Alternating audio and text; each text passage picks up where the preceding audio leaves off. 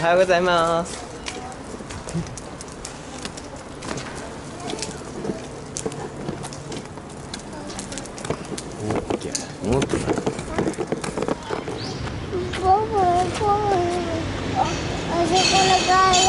階階段登ってどうする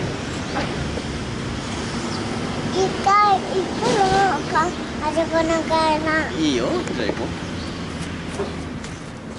う。こっちじゃないのここに行こうよどこ？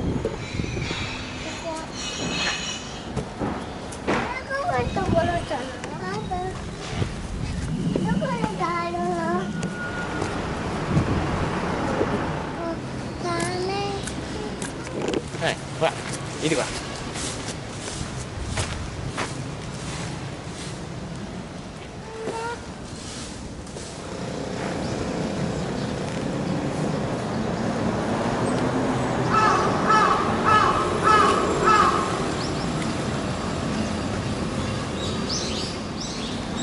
う時間だな疲れ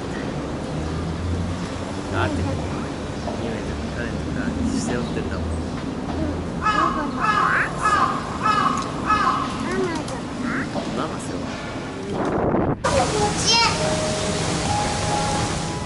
すごいでしょ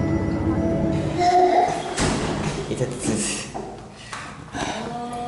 20キロぐらいですけどもうめちゃめちゃ疲れますさて今日はですね全然意味ないんですけど あのこんなものをつけて、えーやってます。ここですね。あ全然意味ないんですけどこんなものをつけて、えー外でやってます。まあ私がいつも使っているアランミクリのメガネですね。ええでこれですね。一郎さんもね以前使ってたって言われるモデルなんですけどね。まあ定かじゃないんですけど。で左だけこの白なんですけどこれよく、えー塗り忘れたのかとかね言われることがあるんですけどもちろんデザインです、はい、このメガネかけてるだけでだいぶちょっと変わってる風に見られたりするんでやっぱりメガネっていうのは本当にあの印象を変える楽しいアイテムだと思います。皆さんもぜひいろいろなメガネを楽しんでください。以上です。